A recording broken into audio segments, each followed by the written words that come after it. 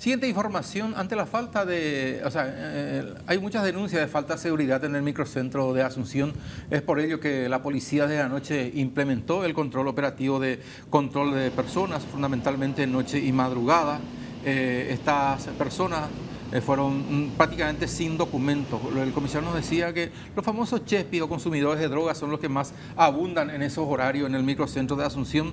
Dos personas detenidas y 16 demoradas. Todos fueron llevados hasta el departamento, todas estas personas fueron llevadas hasta el departamento de investigaciones para, el, eh, para conocer la identidad a través del sistema AFIS y se encontraron de que dos personas estaban con órdenes de, captura y las 16 personas demoradas por unas horas en la comisaría tercera de, de Asunción. El comisario nos decía que el objetivo es un tanto revitalizar el microcentro y dar fortalecimiento de seguridad en la zona comercial y gastronómica para que la gente no pueda ser molestada cuando va al centro circulando o sentándose en un lugar para saborear algo, estoy hablando en la zona gastronómica. Gustavo Recarte, comisario.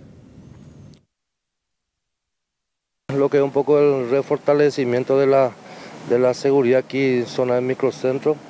Eh, quitando de circulación eh, vendedores informales, estos autos llamados cuidacoches molestosos muchas veces para los ciudadanos que vienen al casco histórico de Asunción.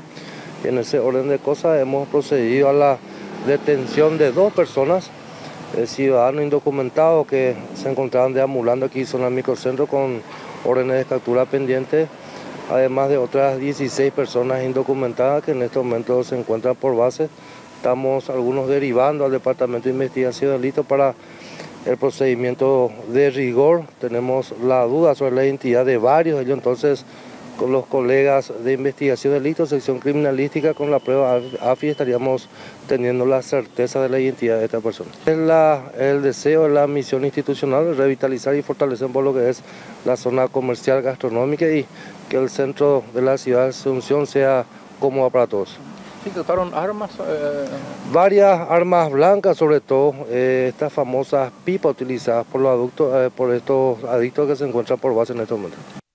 Y